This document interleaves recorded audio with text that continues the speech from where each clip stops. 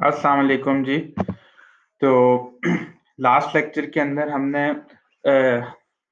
Ledgers बनाए थे। Ledgers में पोस्टिंग की थी आ, अपने तमाम एंट्रीज की फ्रॉम अवर जर्नल। तो आज अभी हम अकाउंटिंग साइकिल को ही कंटिन्यू करते हुए उसी क्वेश्चन को कंटिन्यू करते हुए उसी क्वेश्चन को कंटिन्यू करते हुए आ, उससे हम बनाएँगे ट्रायल बैलेंस। उन तमाम लेजर्स का हम ट्रायल बैलेंस बनाएँगे और फिर एक बेसिक सी फाइनेंशियल स्टेटमेंट बनाएँगे। तो लेट स्टार्ट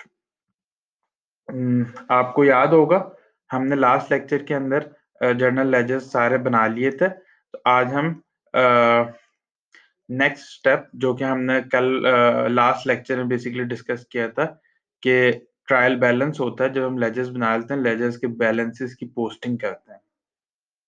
ठीक है जी। तो ट्रायल बैलेंस हम बना लेते हैं। इसमें एक साइड आपकी मैं एक काम करता हूँ पेज को दो पेजेस में एक्चुअली ब्रेक कर लेता हूँ, ताकि एक ही पेज के ऊपर हमारा पूरा बन जाए। ठीक है जी।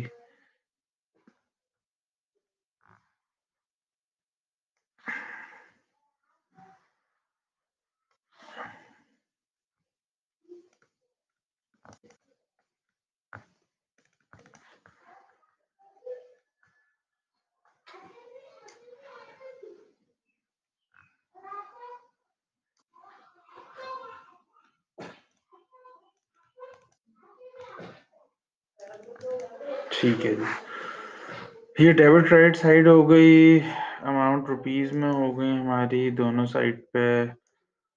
ठीक है यहाँ पे हमारे अकाउंट्स आ जाएँगे। अच्छा जी let's start ji.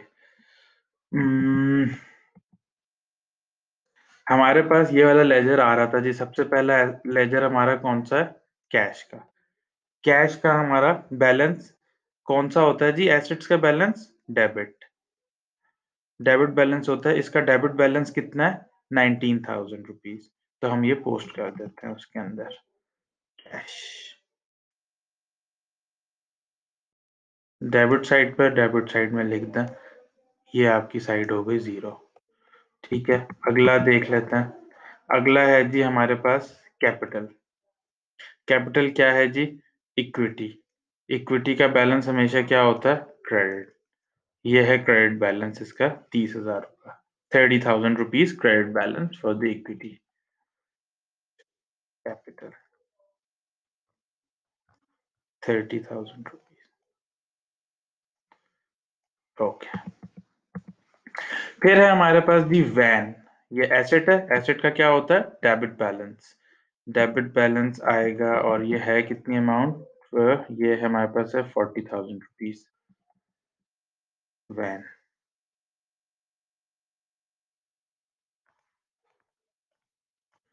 forty thousand rupees ठीक है जी। फिर हमारे पास है लोन लोन क्या है? लाइबिलिटी लाइबिलिटी का क्या होता है? क्रेडिट बैलेंस क्रेडिट बैलेंस इसका कितना है? Thirty thousand rupees thirty thousand rupees loan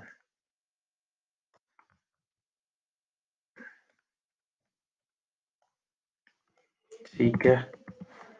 loan का है जी thirty thousand rupees credit balance फिर हमारे पास है मार्केट स्टॉल मार्केट स्टॉल हमारा एसेट है। इसका बैलेंस कितना है? इसका बैलेंस है five thousand rupees market stall market stall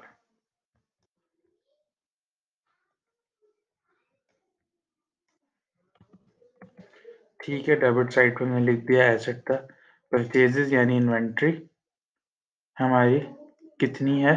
अठारह हज़ार रुपये की डेबिट बैलेंस तो हम इसको इन्वेंट्री इन, सही लफ्ज इन्वेंट्री होना चाहिए। परचेजेस जूनियर लेवल पे यूज़ करते हैं but the better word is inventory ठीक है? इन्वेंट्री पेबल्स अगेन आपकी लाइबिलिटी है। क्रेडिट बैलेंस होगा। ठीक है जी। क्रेडिट बैलेंस आ रहा है दो हज़ार रुपए का पेबल्स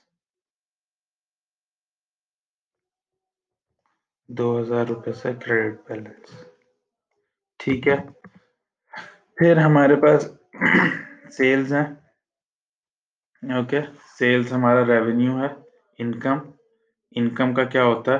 क्रेडिट बैलेंस इसका हमारे पास आ रहा है credit balance twenty one thousand rupees sales credit balance of twenty one thousand rupees ठीक है? देन hmm, हमारे पास है जी रिसीवेबल रिसीवेबल एसेट है. एसेट का क्या होता है? डेबिट बैलेंस एक हज़ार रुपए का डेबिट बैलेंस हमारा आ रहा है. रिसीवेबल ये तो हमारा एक ही पेज पे कंक्लूड हो गया। Receivable one thousand rupees debit balance अब इसको हम टोटल कर लेते हैं। हमने क्या पढ़ा था कि ट्रायल बैलेंस हमेशा डेबिट और क्रेडिट साइड हमारी क्या होगी? बराबर। ये है जी सिक्सटी सिक्सटी और twenty eighty eighty three thousand rupees आ रहा है। ठीक है, ये कितना है? Forty fifty fifty eight fifty eight और ट्वेंटी सिक्सटी एट नहीं सॉरी और ट्वेंटी हो गया एट्टी ये हमारा कितना हो गया जी? ट्वेंटी और forty sixty sixty seventy seventy eight seventy eight और five eighty three eighty three thousand ठीक है जी। तो डेबिट और क्रेडिट साइड हमेशा ट्रायल बैलेंस क्या होती है? बराबर। ठीक है, ये एक बहुत छोटी सी एग्जांपल है जिसमें बहुत मिनिमम नंबर ऑफ़ अकाउंट्स हैं हमारे पास। ठीक है मिनिमम नंबर ऑफ़ अकाउंट्स हैं। एक्चुअली जब आप किसी बिज़नेस ट्रांजेक्शन को या एक्चुअली किसी बिज़नेस को उठा के देखेंगे तो आपके पास बहुत सारे अकाउंट्स आ रहे होंगे राइट तो हमने ये पढ़ा था कि हम हम क्या करेंगे? हम ये करेंगे कि हम इसका एडजस्टेड ट्रायल बैलेंस बनाएँगे फाइनेंशियल स्टेटमेंट्स बनाने से पहले। ठीक है? एडजस्टेड ट्रायल बैलेंस अब यहाँ पे प्रॉब्लम ये है कि हमारे पास एडजस्टमेंट्स नहीं है फ़िलहाल। मतलब हमें क्वेश्चन में पता नहीं है। अगर हमें क्वेश्चन में पता भी हो तो हमने अभी इनके बारे में पढ़ा नहीं है। एडजस्टमेंट बहुत तरह की होती हैं। प्री पेमेंट्स की एडजस्टमेंट ठीक है? एक्रूवल्स की एडजस्टमेंट ठीक है? फिर आपकी बैंक की एडजस्टमेंट्स बैंक रिकॉन जैसे बोलते हैं बैंक रिकॉन से अगर आपकी कोई जीएल की एडजस्टमेंट्स निकलती हैं, वो हो गई, ठीक है?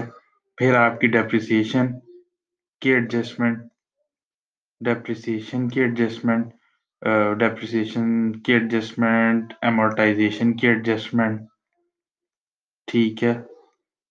फिर आपकी बड़ी एडजस्टमेंट में डाउटफुल डेट्स की एडजस्टमेंट ठीक है? डाउटफुल डेट्स प्री पेमेंट ये सारी चीज़ें हम एक मतलब हर एक चीज़ को एक सेपरेट टॉपिक में कवर कर लेंगे और जब हमें ये एडजस्टमेंट पता चल जाएँगी तो फिर हम एडजस्टेड ट्रायल बैलेंस बना सकेंगे। तो फ़िलहाल आज के लेक्चर में मैंने एडजस्टेड ट्रायल बैलेंस को अपना टॉपिक नहीं रखा क्योंकि एडजस्टेड ट्रायल बैलेंस टॉपिक रखना है कोई फ़ायदा नहीं है जब तक आप इन एडजस्टमेंट्स के बारे में ना जानता हूँ। एडजस्टमेंट्स आपको पता चल जाएँगी, समझ जाएँगे तो सिंपल डेबिट क्रेडिट के वही रूल्स हैं। डेबिट क्रेडिट के रूल्स अप्लाई करके आपने जर्नल एंट्रीज पास करनी है, उनको लेजर्स में पोस्ट करना है। लेजर्स में पोस्ट करने के बाद रिवाइज ट्रायल बैलेंस निकाल लेना है। ठीक है? और अगर आप जब क्वेश्चन के अंदर बैठ के एडजस्टेड ट्रायल बैलेंस बना रहे हैं तो आप यहीं पे एक एडजस्टमेंट का कॉलम खोल लेते हैं। ठीक है? आपको बैक एंड पे सारा पता होना चाहिए कि क्या डेबिट हो रहा है, क्या क्रेडिट हो रहा है। आप रेलिवेंट टीबी के अंदर एडजस्टमेंट करते जाएँगे एक डेबिट एडजस्टमेंट एक क्रेडिट एडजस्टमेंट सारी एडजस्टमेंट पोस्ट करके यहाँ पे एक एडजस्टेड ट्रायल बैलेंस बना लेंगे। इन प्रैक्टिकल इन प्रैक्टिकल आपको डेफिनेटली जर्नल एंट्री पास करते हैं। आपके लेजर सिस्टम में ऑटोमेटिकली अपडेट हो जाते हैं। आपको रिवाइज ट्रायल बैलेंस निकल के आ जाता है। तो वो आपका एडजस्टेड ट्रायल बैलेंस होता है। But for study purposes for exam purposes for theoretical purposes हम यहीं पे एडजस्टमेंट्स पास करते हैं और यहीं पे हम एडजस्टेड ट्रायल बैलेंस बना लेते हैं। हम ये वाला सारा काम दोबारा नहीं करते कि हम जर्नलाइज करें, हम लेजर निकाल लें, फिर हम रिवाइज ट्रायल बैलेंस दोबारा से बनाएँ। हम यहीं पे एडजस्टमेंट पोस्ट कर लेंगे। और अगर आपके डेबिट क्रेडिट के रूल्स और आपके कॉन्सेप्ट्स क्लियर हो गए तो सबसे आसान काम यही है कि आप यहाँ पे एडजस्टमेंट पोस्ट कर लें। मतलब it's pretty easy but once आपके बिल्कुल कॉन्सेप्ट क्रिस्टल क्लियर हों। तो आई वुड सजेस्ट कि अब हम उस पॉइंट पे पहुँचे जहाँ आप पिछले तमाम लेक्चर्स अगर आपने अभी तक ठीक से नहीं अंडरस्टैंड किए हैं तो उनको अंडरस्टैंड कर लें, क्योंकि आगे सारी चीज़ें जाके इन्हीं से लिंक हो रही होंगी। आज के लेक्चर में क्योंकि ट्रायल बैलेंस तो एक छोटी सी चीज़ थी तो हम थोड़ी सी डिस्कशन फाइनेंशियल स्टेटमेंट्स पे कर लेते हैं और ये जो क्वेश्चन हमने किया है, इसके ऊपर हम एक फाइनेंशियल स्टेटमेंट इसकी बना लेते हैं। ठीक है? फाइनेंशियल स्टेटमेंट में आज हम मेजर दो कंपोनेंट्स के बारे में बात करते हैं, एक बैलेंस शीट एक प्रॉफिट एंड लॉस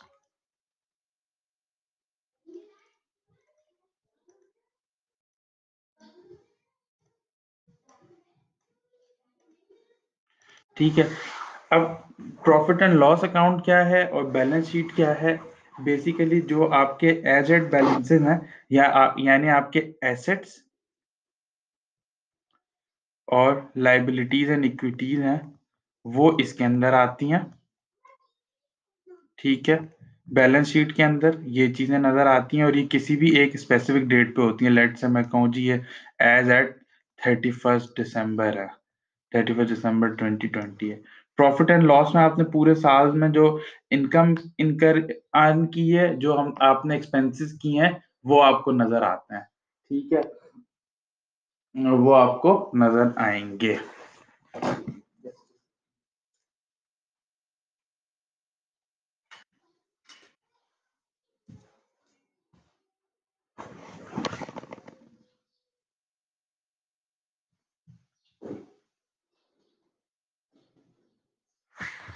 अच्छा तो यहाँ पे इस क्वेश्चन में हमारे पास जनाब अली क्या क्या अकाउंट्स हैं हम देख लेते हैं। ये हमारा एसेट है, ठीक है। ये हमारी इक्विटी है। ये हमारा एसेट है। ये हमारी लाइबिलिटी है। ये हमारा एसेट है। ये हमारा एसेट है। ये हमारी लाइबिलिटी है। ये हमारा इनकम है और ये हमारा एसेट है। तो यहाँ पे हमारे पास प्रॉफिट एंड लॉस अकाउंट का सिर्फ़ एक आइटम है। एक्चुअली जब भी आपकी सेल होती है तो इसके अगेंस्ट इसकी कॉस्ट ऑफ़ सेल भी होती है। वो हम डिटेल में बात करेंगे कि हम कॉस्ट ऑफ़ सेल किस तरह से बनाते हैं, कॉस्ट ऑफ़ सेल कैसे आती है। अभी just for the sake of understanding कि बैलेंस शीट और इनकम स्टेटमेंट के अंदर आपने चीज़ें कैसे लेके जानी है। तो सिंपल है एसेट वाली चीज़ें एसेट साइड पे लिख दें और लाइबिलिटी साइड वाली चीज़ें लाइबिलिटी साइड पे लिख दें इक्विटी साइड वाली चीज़ें इक्विटी साइड पे लिख दें, लेकिन इस कैपिटल के अंदर आपकी एक एडजस्टमेंट आएगी। वो एडजस्टमेंट क्या होगी? यानी देखें, आपने जो प्रॉफिट अर्न किया है आपके बिज़नेस में, वो इसका पार्ट बनेगा, इस इक्विटी का प्रॉफिट या लॉस जो भी है, वो इस इक्विटी का पार्ट बनेगा। तो सबसे पहले हम प्रॉफिट एंड लॉस अकाउंट बना लेते हैं। प्रॉफिट एंड लॉस अकाउंट तो हमारे कुछ है ही नहीं, एक सेल्स आ रही है तो वो हम बना लेते हैं जी, ये सेल्स कितना है इसका बैलेंस? इक्कीस हज़ार, ठीक है। इक्कीस हज़ार तो यही हमारा प्रॉफिट फॉर द पीरियड हो गया। फॉर द पीरियड, ये किसी एक स्पेसिफिक पीरियड के लिए होता है तो इसलिए हम हमेशा यहाँ पे इसको प्रॉफिट फॉर द पीरियड बोलते हैं। एसेट में हमारे पास कैश है, ठीक है। अब हम लिखते जाते हैं, ठीक है। Cash van market stall market stall inventory inventory है रिसीवेबल है रिसीवेबल और क्या है हमारे पास? कैश हो गया वैन हो गई मार्केट स्टॉल हो गया इंट्रेंट्री हो गया रिसीवेबल हो गया। इनके नंबर्स डाल देते हैं। नाइनटीन थाउज़ेंड कैश है। ठीक है। वैन फोर्टी थाउज़ेंड की है।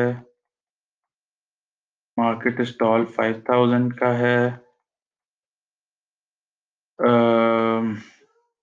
इन्वेंट्री एटीन थाउज़ेंड की है। और जो हमारे पास रिसीवेबल है वो वन थाउज़ेंड का है। वन थाउज़ेंड का। और ये सब मिला के एट्टी थ्री थाउज़ेंड बनते हैं। ठीक हो गया। लाइबिलिटी एंड इक्विटी में हमारे पास सबसे पहले इक्विटी में कैपिटल आ जाएगा। कैपिटल हमारा कितना है? कैपिटल हमारा है तीस हज़ार। प्रॉफिट हमने कितना अर्न किया है ड्यूरिंग द पीरियड इक्कीस हज़ार। ठीक है, ये हमारा कितना हो गया टोटल फिफ्टी वन थाउज़ेंड ठीक है, फिर हमारे पास एक लोन है, ये तो हमारी इक्विटी हो गई। इक्विटी टोटल इक्विटी ये हमारे एसेट्स होगा ठीक है। लोन हमारे पास कितना है? थ्री थाउज़ेंड फिर हमारे पास पेबल है। पेबल कितना है हमारे पास? दो हज़ार।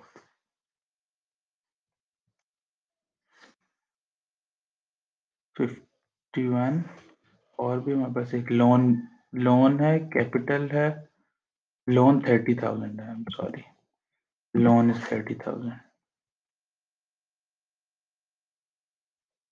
ठीक है? अच्छा। अब ये देखें मैंने एसेट और लाइबिलिटीज सारी डाली मतलब जो भी बैलेंस शीट के आइटम्स थे वो डाला है। लाइबिलिटी डाली इक्विटी डाली एसेट डाला। फिर भी मेरी बैलेंस शीट टैली है। वो कैसा क्योंकि जो प्रॉफिट मैंने अर्न किया, जो प्रॉफिट एंड लॉस है, वो क्लोज होके कहाँ पे आया? वो क्लोज होके आपका यहाँ पे आ गया। तो ट्रांजेक्शन मतलब अल्टीमेटली आपकी बैलेंस शीट हमेशा बराबर रहेगी। बैलेंस शीट की asset is equal to liability plus equity balance sheet वो आपकी एक्चुअली अकाउंटिंग इक्वेशन है बट इन प्रेजेंटेबल फॉर्म अभी तो हमने इसको बहुत ही सिंपल तरीके से बनाया है। यहाँ पे आपके करंट एसेट्स में क्लासिफिकेशन होती है नॉन करंट एसेट्स में क्लासिफिकेशन होती है। फिर यहाँ पे लाइबिलिटीज में नॉन करंट लाइबिलिटीज होती है करंट लाइबिलिटीज होती है, फिर इसका टोटल बनता है। ठीक है? और ये मतलब जितने ब्रॉडर बिज़नेस में जाते जाएँगे, उसमें शायद, उसमें ये एसेट्स को इस तरह तोड़ तोड़ के नहीं लिखते वो एक कंबाइंड एसेट्स लिखते हैं, इनका एक ब्रेकअप का नोट नोट होता है और इस तरह सारी चीज़ें चल रही होती हैं। तो ये मैंने आपको एक बिल्कुल सिंपल सी बैलेंस शीट बनाना सिखाई है कि बैलेंस शीट में एक्चुअली होता क्या है। आपके पास ये नंबर्स कैसे आते हैं ट्रायल बैलेंस है कैसे पॉपुलेट होते हैं? सबसे पहले आपने प्रॉफिट एंड लॉस अकाउंट बनाया। ये फॉर द पीरियड होगा हमेशा। फॉर द पीरियड और ये हमेशा किसी एक डेट पे होगा बैलेंस शीट एज एट होगी हमेशा एज एट किसी एक डेट पे। प्रॉफिट एंड लॉस से जो नंबर निकलेगा, वो यहाँ पे चला जाएगा बैलेंस शीट में। और बाकी आपके एसेट्स एसेट साइड पे आ जाएँगे liabilities and equity liability and equity side पे आ जाएगा। ठीक है? यहाँ पे आइडली मुझे चाहिए था कि मैं इसका भी अलग से टोटल करता और फिर टोटल बनाता। थर्टी टू थाउज़ेंड की आपकी टोटल लाइबिलिटीज है। Total liabilities total liability thirty two thousand की है इक्विटी आपकी फिफ्टी वन थाउज़ेंड की है टोटल जो आपकी लाइबिलिटी एंड इक्विटी है, वो एट्टी थ्री थाउज़ेंड की है। ठीक है जी। I hope this is clear basic financial statements आपको बनाना आ गई है ट्रायल बैलेंस बनाना आ गया अकाउंटिंग साइकिल हमारा यहाँ पे हो गया कंप्लीट बेसिक बेसिक अब हमने इस अकाउंटिंग साइकिल को अकाउंटिंग साइकिल को क्या करना है? हमने इस अकाउंटिंग साइकिल को डिटेल के अंदर, इसके अंदर एडजस्टमेंट्स देखनी है। हमने इस बैलेंस शीट की अच्छी शक्ल बनानी है। हमने प्रॉफिट एंड लॉस को अच्छा करना है। हमने फाइनेंशियल की बाकी चीज़ें सीखनी है। तो अब हम, हमारे नेक्स्ट लेक्चर्स में हमारा फोकस बेसिकली इन एडजस्टमेंट्स के ऊपर शुरू हो जाएगा और वन बाय वन हम ये चीज़ें बनाना शुरू कर देंगे। कि ये किस तरह से प्री पेमेंट्स क्या होती हैं एक्रूवल्स क्या होते हैं बैंक रिकॉन क्या होती है डेप्रिसिएशन क्या होती है अमोटाइजेशन क्या होती है डाउटफुल डेट्स कैसे बनते हैं। अब हम इन पर नेक्स्ट लेक्चर्स में इन चीज़ों के ऊपर बात करेंगे।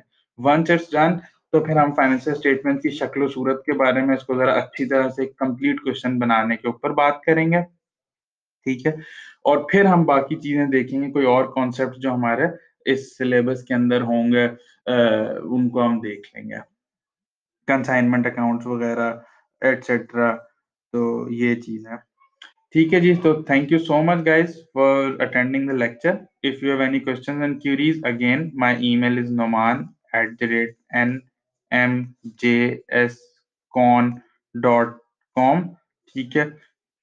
आप मुझे ईमेल कर सकते हैं। आप मुझे नीचे कमेंट बॉक्स में कमेंट करके क्वेश्चन पूछ सकते हैं। मुझे कोई स्पेसिफिक टॉपिक बता सकते हैं जिसके ऊपर आप लेक्चर चाहते हैं? Specific topic from accounting side या accounting related commerce related studies में किसी और सब्जेक्ट का कोई भी टॉपिक आप जो भी स्पेसिफिक टॉपिक पे कुछ देखना चाहते हैं, मुझे बताएँ, मैं आपके लिए लेक्चर प्रिपेयर करूँगा। So thank you so much that's it for today पिछले लेक्चर्स को रिवाइज करें और get prepared for the next month thank you जी. अल्लाह हाफिज़।